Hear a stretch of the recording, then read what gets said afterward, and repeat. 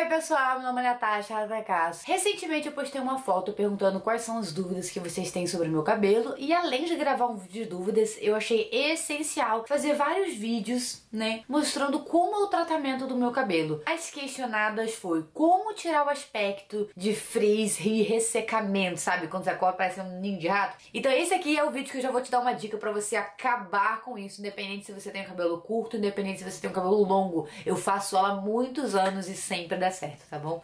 Então, continue assistindo. Eu começo separando né, meu óleo de coco, pode ser do que vocês preferirem, colocando dentro desse recipientezinho. Ele fica sempre a estar no meu chuveiro, porque sempre que eu tomo banho eu faço basicamente essa receitinha, que é bem simples. Aqui é meu cabelo antes, gente, ele tá dois dias sem lavar, tá sem chapinha, tá sem escova, tá sem nada.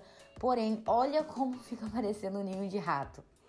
Ele fica bastante poroso, fica bem cheio, enfim, é um aspecto que eu detesto, então é muito raro eu não fazer essa receitinha, eu tô sempre fazendo, tá? Mas tem solução e eu vou mostrar aqui pra vocês.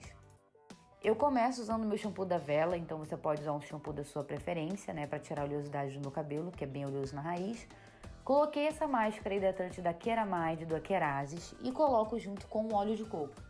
Eu vou misturando a quantidade de óleo de coco que eu acho que é boa pro meu cabelo. É muito de olho, tá, gente? Às vezes meu cabelo tá muito ressecado, eu coloco mais, às vezes eu coloco menos. E você vai aprendendo. Só coloca no comprimento, porque se você passar na raiz, vai ficar bastante oleoso. Faço a hidratação, né? Espero uns 10 minutos. E pronto, gente, esse aqui é o resultado. O meu cabelo tá seco naturalmente, eu não usei chapinha, não usei escova, não tem nada mascarando ele. É exatamente assim que ele ficou, tá vendo?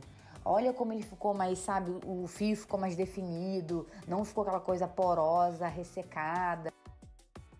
E eu nem penteei ele aí já, né? Por isso que ele tá meio grudadinho. Mas olha a diferença do outro cabelo pra esse. Chega a ser absurda a diferença. Olha o antes e depois. Bom, eu uso essa técnica sempre, aconselho a vocês.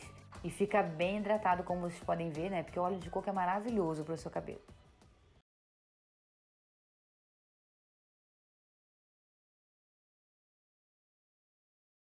Então é isso, pessoal. Eu espero que vocês tenham gostado. Se você tem alguma dúvida, se você quer me dar dicas de vídeos de como manter o cabelo, tudo mais, comenta aqui embaixo que eu vou fazer vários vídeos de todas as dúvidas que vocês tiverem sobre o meu cabelo. Eu quero tirar isso de uma vez. É todos os tratamentos que eu faço. Então comenta aqui que se você tem alguma dúvida, alguma ideia, enfim.